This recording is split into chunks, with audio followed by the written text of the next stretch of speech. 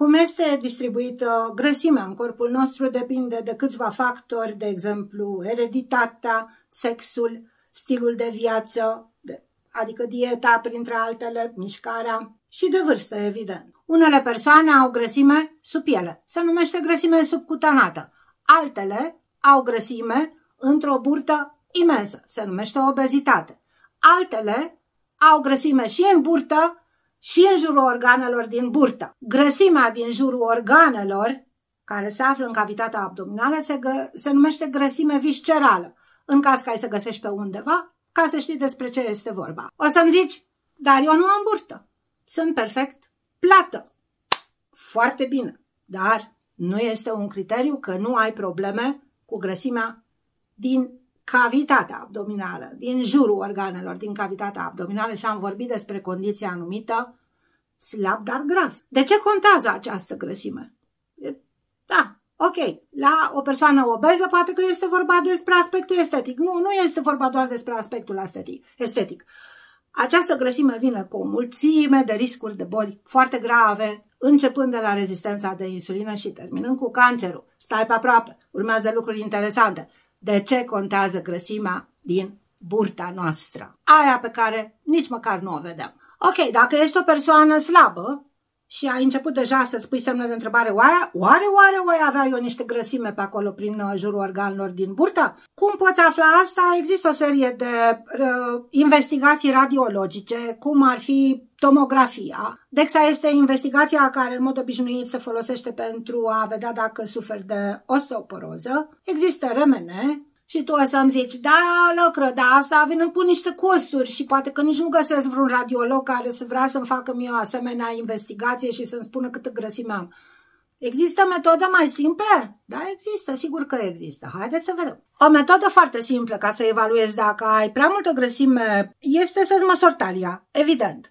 Și să vedem ce ne spune știința medicală, pe unde ar trebui să ne aflăm noi cu talia asta. Se recomandă ca talia să fie sub 101 cm la bărbați și 89 de cm la femei. Studiile au arătat că un raport între, între talie și înălțime sub 0,5 este un indicator și mai bun că tu nu ai prea multă grăsime acolo în jurul organelor din cavitatea abdominală, care sunt alea ficat, pancreas, uh, intestine, peritoneu. Cum îți măsori raportul talie-înălțime?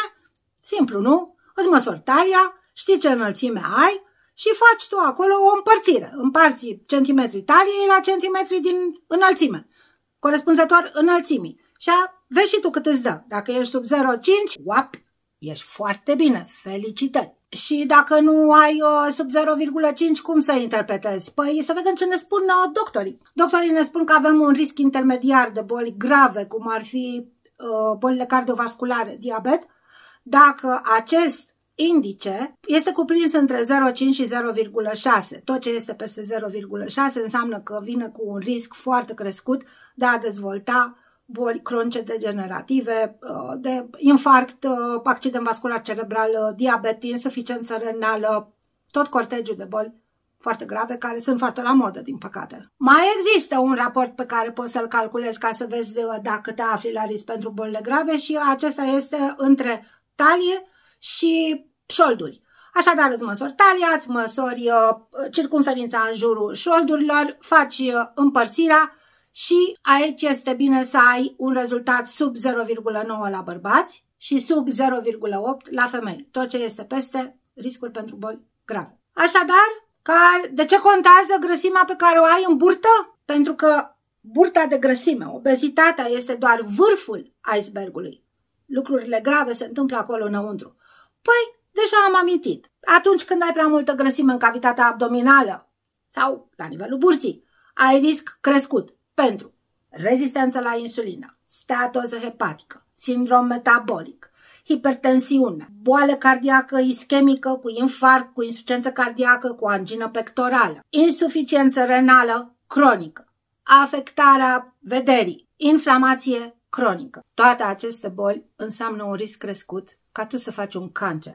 De exemplu, un om care suferă de diabet de tip 2 are un risc dublu de a face un cancer în cursul vieții față de o persoană care nu are acest diagnostic. E de luat în seamă, cred eu. Ei, Sper că am reușit să aduc un pic de lumină în ceea ce privește importanța grăsimii din uh, burta noastră și riscurile de boli grave. De asta contează dacă avem grăsime, nu neapărat să vedem burta, ci dacă avem și acolo înăuntru, pentru că există persoane slabe, foarte slabe, care au diabet de tip 2 și rezistență la insulină. Deci nu numai grăsimea asta de o vedem noi este ea vinovată. Mai există și altă grăsime că e păcătoasă, se așează peste tot, pe unde vrea ea pe acolo. Îți mulțumesc foarte mult pentru atenție. Nu uita că sub uh, video o să-ți pun la dispoziție și articole de interes din blogul meu lăcră.blog. Vei găsi ca întotdeauna și niște linkuri către studii științifice și dacă ți-a plăcut, nu uita